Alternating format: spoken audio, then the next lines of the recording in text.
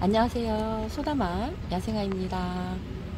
아유, 밤새 비가 음, 오락가락 갑자기 소나기가 내렸다가 난리를 치더니 또 아침이 되니까 언제 그랬냐 듯이 파란 하늘을 보여주고 있습니다. 아, 이제 찜통 무더위 더위가 시작되는 듯 합니다. 이렇게 무더위 속에서도 또 잘 있어주는 식물들, 꽃들. 지금 글록시니아는 이렇게 꽃이 하나씩 하나씩 피고 있습니다. 아, 요 글록시니아는 물을 굉장히 싫어한다고 하거든요. 그래서 물을 그렇게 많이 주지 않고 조금 건조하게 이렇게 피, 피우고 있는데요. 꽃이 계속 이렇게 올라오고 있습니다. 이렇게. 색깔이 이렇게 보라색, 투톤으로 이렇게 되어 있어요. 지금 해인분에 이렇게 매달려 있거든요. 그래서 얘는 여기 어, 창가 이렇게 제일 앞에 있어서 비 오면 그냥 비는 음, 이렇게 치어 들어오는 그 비는 이렇게 맞고 있어요. 예쁘죠? 글록시니아? 그래도 이렇게 살아있어줘서 너무 음, 고마운 것들입니다. 그럼에도 또 가는 아이가 있어요. 음, 후쿠시아. 이렇게 이 아이는 아주 잘 있거든요. 요 하얀색. 근데 이 후쿠시아는 얘가 자꾸 말라가더라고요. 이렇게 꽃은 달려 있는데, 어, 꽃, 음, 이렇게 꽃이 달려 있었는데 꽃도 피지 못하고 그냥 죽었어요. 음. 싹 씻어서 이렇게 물에 담궈놨는데도 살지를 못했네요. 결국엔 갔답니다. 그래서 이제 후쿠시아가 저는 이제 세 개 남았어요. 그래도 음, 세 개는 영풀성이거든요. 음, 얘는 지금 어, 그냥 어, 간에는 직립형으로 자라는 애인데 그런 아이들은 조금 제가 보니까 조금 약하더라고요. 근데 이렇게 넝쿨성 이런 후쿠시아 이런 아이들은 그래도 생각보다 조금 착한 것 같아요. 얘도 지금 꽃은 계속 피면서 이렇게 꽃머리는 여전히 계속 잡혀 있어요. 이렇게 음, 가지가지마다 이렇게 꽃이 이렇게 맺혀 있습니다.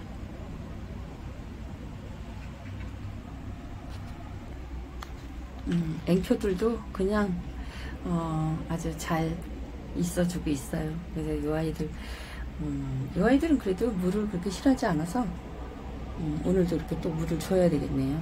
음. 음, 필리아 페페도 여전히 잘 자라고 있고요. 음, 삽목한 제라늄도 이렇게 간 아이들은 가고 이렇게 우이 옆도 아주 튼실하게 잘 있고요. 지금 요거 제라늄 음, 요 아이도 제가 요거 녹소토에다 꽂아놨거든요. 그래서 얘는 요대로 키워도 될 것 같아요. 아주 지금 짱짱하게 잘 있죠? 아주 건조하게 이렇게 키우고 있어요. 음, 삽목했는데 아주 잘 살아 있습니다. 이렇게 음, 어터님프도 계속 이렇게 꽃이 달려주고 있어요. 이렇게 끝없이. 그러니까 이런 애들 물 조절을 진짜 잘해야 돼요. 음, 물을 그리고 얘는 흙이 지금 토동이네 흙에다 이렇게 심어져 있거든요. 이렇게 토동이네 흙으로 이렇게 심어 놓은 거라서 음, 조금 자기 그 뿌리 있는 데는 자기가 원래 갖고 있는 어, 그 상토 피토머스 어, 그 흙이 있거든요. 조금은 있는데 어, 주변의 흙들은 다 토동이네 흙으로 심어놔서 아주 배수가 잘 되기 때문에 어, 물을 조금 어, 말리지 말리면 얘네들이 음, 이렇게 잎이 금방 시들어 버려요. 그래서 물 조절을 음, 잘 해줘야 된답니다. 거의 음, 이틀에 한 번씩, 3일에 음, 한 번씩인가 이렇게 주면 음, 잘 있답니다. 이거 워터림프도 약간 넝쿨성이에요. 그러다 보니까 이런 아이들은 굉장히 강한 것 같고요. 이 아이도 이 아이도 계속 꽃을 이렇게 피워주고 있습니다. 요 끝에 얘가 확실히 제일 꼭대기라서 여기가 음, 얘가 신호를 보내요. 잎이 하나씩 이렇게 여기 여기 여기 잎이 없는 이유가 어, 물이 고프면 얘가 잎이 먼저 여기서 말르더라고요. 제일 꼭대기라서 물 올라가는데 마지막이거든요. 여기가 그러니까 얘가 반응을 해요. 잎이 목이 마르다고 얘도 계속 이렇게 음, 꽃이 피면서 잘 있어 주고 있어요. 이거는 아직도 음, 파티들에서 아직도 이렇게 꽃이 피어주고 있습니다. 어, 송이 송이 많이 있었는데 이제 거의 다 피는 것 같아요. 여기만 있고 그냥 꽃송이가 이제 많이 없어요. 진짜 오랫동안 이렇게 꽃을 계속 보여주고 있어요.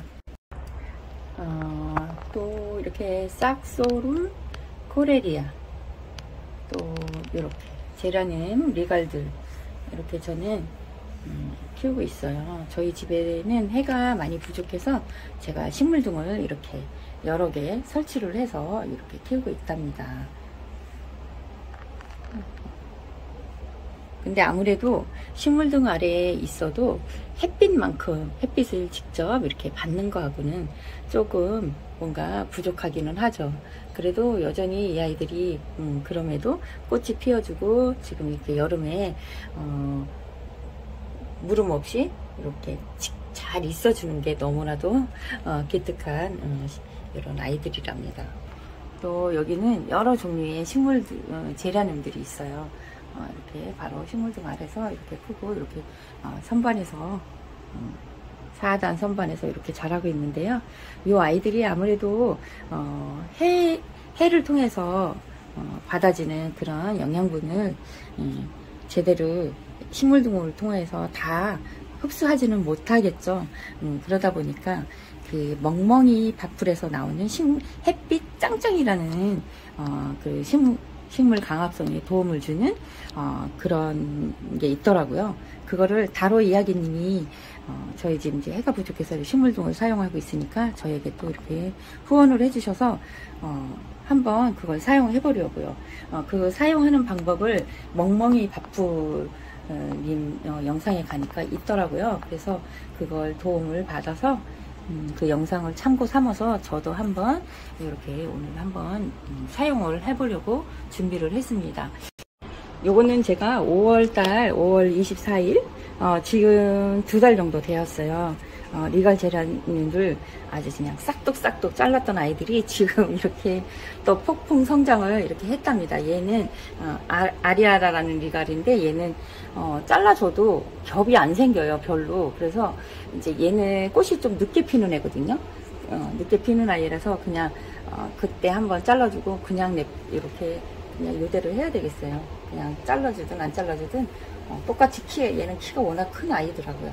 근데 요런 아이들은 범이다 요런 아이들은 제가 이렇게 잘랐는데 지금 음, 아우 그렇게 바싹 잘라주면 싹이 나올까요? 염려를 하셨던 분들이 계시는데 이렇게 어, 싹이 음, 잘 순들이 이렇게 잘 나와서 얘는 막 폭풍 성장을 하고 있습니다. 지금 요 조그만 분에 이렇게 담아져 있는 아이거든요.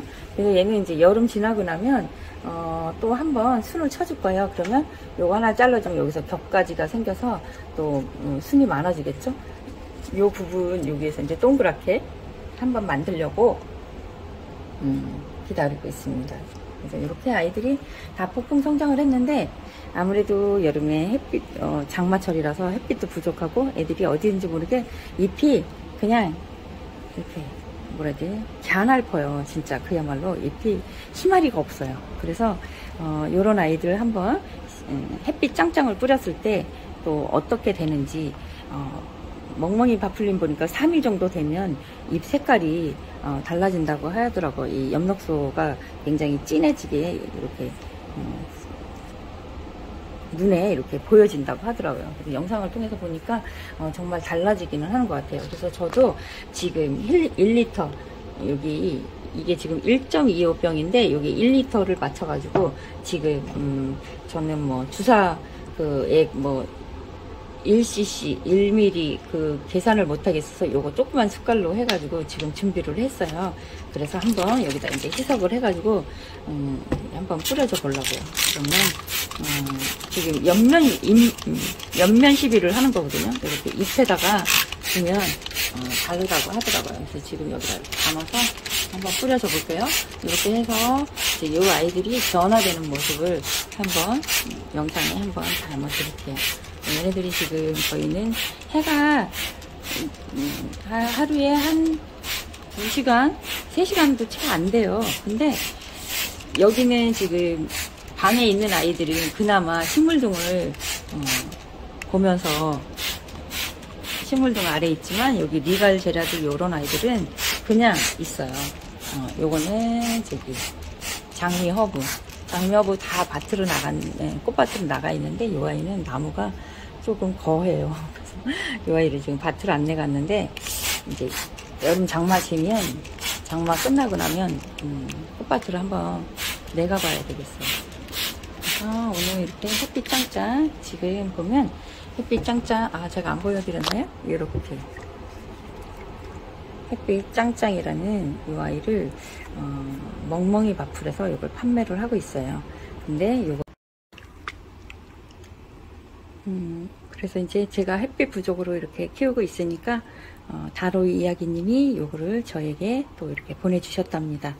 어, 다로이 이야기님, 어, 제가 요걸 받고 지금 한참 되었는데 어, 사용할 시간도 없었고 여러 가지 바쁘다 보니까 이제서야 제가 이렇게 음, 사용을 해봅니다. 이제 요 아이들 이제 오늘 어, 지금 이 시간에 뿌려주, 뿌려주고 있으니까 요 아이들이 이제 어떻게 달라지는지 제가 또 다음에 또 영상에 한번 담아드릴게요. 여기는 지금 식물등도 없어요. 음, 방에 있는 아이들은 어, 식물등 아래에서 크고 있는데 여기는 지금 거실에 어, 거실에서 그냥 자연 햇빛 잠깐 들어오는 거 받으면서 그러니까 이렇게 새 잎이 나라, 자, 자라면서도 막 웃자라고 있잖아요. 얘는 원래 얘는 이제 밖에 있- 음, 베란다에 어, 안방 베란다에 있었는데 요거 뿌려주려고 들여온 거예요. 음. 네, 아무래도 햇빛이 부족하니까 얘도 웃자람이 있는 것 같아요.